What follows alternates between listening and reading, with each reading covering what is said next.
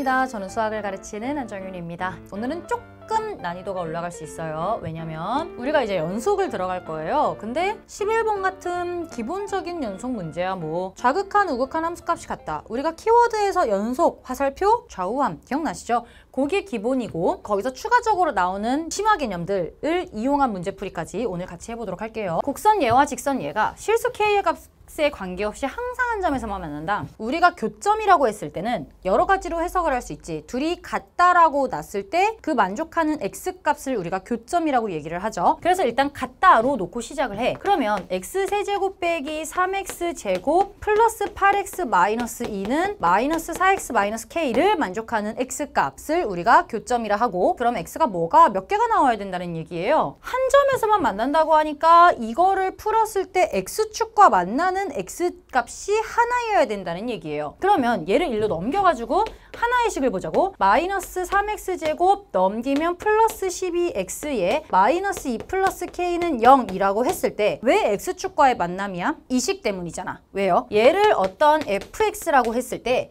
얘와 y는 0의 만남으로 보자는 거야. 이렇게 두 개를 보면 3차 함수와 감소하는 1차 함수의 만남이라서 복잡하지만 얘를 넘겨서 그냥 식을 바꿔서 끝이 올라가는 3차 함수와 y는 0이라는 x축과를 비교를 했을 때 그 교점이 하나, 근이 하나가 나와야 된다는 얘기거든. 그럼 이런 식으로 우리가 표현할 수 있겠지. 정확히는 못 그리겠지만 그냥 이렇게 생겼을 때 어떤 x축이 있어서 여기 교점이 하나만 생겨야 된다 라고 판단을 할 수 있는데 그 x좌표가 어디에 있길 바란다? 열린 구간 0,1에 있길 바란다는 얘기는 여기가 0이고 여기가 1일 때 요 사이에 존재하기를 바란다 라는 거고 사이값 정리를 쓰자면 이렇게 되는 거지 F0이랑 F1이랑 둘이 곱했을 때 부호가 어때야 된다? 마이너스고 플러스니까 달라야 된다. 이렇게 돼야 된다. 라는 얘기를 우리가 하고 싶은 거지. F에 0 집어넣으면 마이너스 2 플러스 K고요. F에 1 집어넣으면 1 마이너스 3 플러스 12 마이너스 2 플러스 K 이렇게 돼서 8 플러스 K 이렇게 되네요. 얘는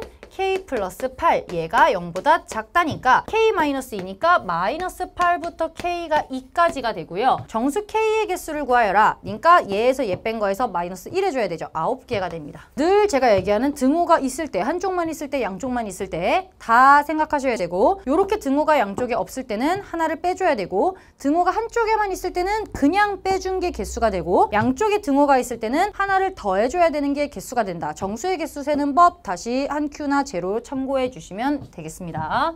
그 다음 우 레벨 2 전혀 어렵지 않게 생겼는데 fx 플러스 4가 fx다. 그냥 보자마자 무슨 함수? 주기함수. 너의 이름은 주기함수. 아무것도 없이 이렇게만 딱 나와 있을 때 주기사야? 위험하다 그랬지? 이게 주기사라고 할 수 없어요. 여기 들어가는 어떤 피 중에 가장 작은 값을 우리가 주기라고 하는데 네 칸 뒤에 있을 때 같은 y값을 가져? 한 칸 뒤에 주기가 1일 수도 있어. 아니면 주기가 2일 수도 있어. 모르는 거잖아. 그래서 얘를 보고는 사실 주기가 4다라고 말할 수는 없지만 얘 때문에 주기가 4라는 걸 확신할 수 있죠. 0부터 3까지 이 그래프를 갖고 3부터 4까지 이 그래프를 갖고 그럼 0부터 4까지 만들어진 그래프를 반복한다는 얘기니까 주기가 4가 될 거야. 이렇게 파악을 하셔야 돼요. 솔직히 말하면 대부분 문제가 그냥 4가 주기가 나와. 요 자리에 나온 애가 주기가 맞는데 이걸 보고 그냥 4라고 할 수는 없다. 자 그러면 어, 이렇게 생겼는데 실수 전체에서 연속인 함수 fx야. 그러면 0부터 3까지랑 3부터 4 사이에 3에서도 연속이어야 되고 양 끝에 0과 4가 만나야 다시 시작하는 점에서 또 시작을 똑같이 할 거 아니야? 그러면 여기서 두 가지 F0이랑 F4가 같아야 되고 3의 좌극한과 우극한이 같아야 돼요. 그러면 여기다 3 집어넣으면 0 되니까 여기서 분자에 3 집어넣으면 2-A가 0이니까 A 값이 2가 돼요. 여기가 2가 돼야 되고 얘 다시 한번 쓰면요. fx는요. x-3에 유리화하면 x 플러스 1 마이너스 4에 루트 x 플러스 1에 플러스 2 이렇게 돼서 x 마이너스 3이니까 없어지고 요거 분의 1 이렇게 남는다는 얘기고. 오케이. 이게 0부터 x가 3까지일 때고 bx 플러스 c가 3부터 x가 4까지 일 때다. 이렇게 된다는 얘기지? 그러면 여기서 3 집어넣었을 때 x가 3으로 가까이 갈 때 4분의 1이랑요? 3 집어넣었을 때 3b 플러스 c랑 같다 호 12b 플러스 4c가 1이다. 그 다음 0 집어넣었을 때 F0과 F4가 같아야 되니까 0 집어넣으면 3분의 1이고요. 4 집어넣으면 4b 플러스 c야. 3 곱하면 1은 3, 4, 12b 플러스 3c 이렇게 되는 거야. 빼버리면 없어지고 없어지고 c가 0이 나오네요. C가 0이 나오고 B가 12분의 1 이렇게 나와야 돼요. F의 A가 2고요. 나머지 다 나왔으니까 F의 B가 12분의 1 A 플러스 C는 A가 2, C가 0이니까 여기 2 이렇게 돼서 F24를 묻는 거고요. F24는 뭐랑 같아요? F4랑 같죠? 근데 F4는 뭐랑 같아요? F0이랑 같죠? 그럼 F0 그냥 구하시면 되겠네. F0 아까 뭐였어? 3분의 1이잖아. 끝났죠? 그냥 뭐, 음, 3분의 1. 3분의 1. 아, 오늘 별로 어려운 문제 없어가지고 약간 하이가 됐어. 하지만 곧 나올 거야. 좀 기다려봐. 다음 조건을 만족시키는 모든 다항함수 fx에 대하여 f1의 최소값을 물었는데 가해보시면 다항함수의 모든 항의 개수가 정수이다. 아 자연수나 정수가 나오면 늘 우리를 귀찮게 할 수 있다라고 얘기를 했잖아. 정수가 나왔다는 건 값이 딱 떨어지는 게 아니라 우리가 뭐뭐뭐뭐뭐 된다라고 세야 될 수도 있다는 얘기야. 나에서 x가 무한대로 가니까 이거는 뭘 정하는 거다? 최고차항을 정하는 거다. 1차인데 2차가 살아있네. 그러면 fx는 x제곱에 더하기 어떤 ax 플러스 b 이렇게 될 것이고 얘는 그럼 이쪽 계산하면 a니까 f의 마이너스 1이 a다 이렇게 결론이 나오는 거죠. 최고차항이 얘, 얘 없어지고 얘가 되니까 1분의 a가 값이 되는 거지. 그러면 f-1은 뭐예요? 마이너스 1 집어넣으면 1 마이너스 a 플러스 b가 a가 되는 거고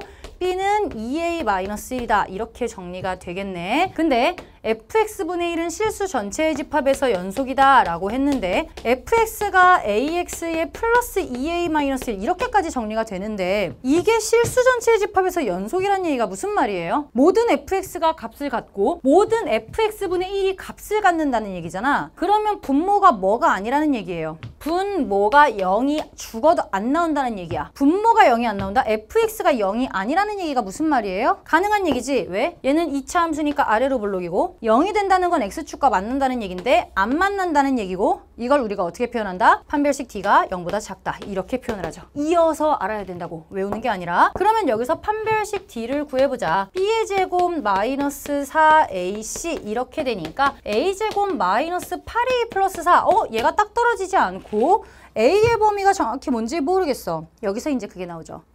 정수이다. 얘를 푸는 방법이 두 가지야. 얘가 0보다 작다니까 이렇게 놓고 A 값을 구해서 몇부터 몇 사이 이렇게 찐으로 구하셔도 되고 아니면 이런 방법이 있지. 완전 제곱식을 쓰는 거야. 그래서 제곱꼴로 만들어 놓고 얘가 몇보다 작을 때 A에 들어갈 수 있는 게 뭔지 찾으면 되잖아. 어차피 정수니까. 그럼 얘의 제곱이면 은 10 6이니까 마이너스 10이죠? 마이너스 10이 넘기면 12보다 작아야 돼. 가능한 A값 찾으시면 되죠. A가 몇이어야 돼? 그래서 0이면 안 되고 1 되고 2 되고 3 되고 4 되고 5, 6, 7, 8 되면 4, 4, 16이니까 안 되죠? 여기까지 되니까 A는 1부터 7까지 이렇게만 됩니다. 자, 문제에서 F1의 최소값을 물었어. 따라서 F1이라 함은 여기다가 집어넣으시면 되죠? 1 더하기 A 더하기 2A 마이너스 1이니까 3A가 되고요. 최소값은 A가 1일 때니까 답은 3 이렇게 나옵니다.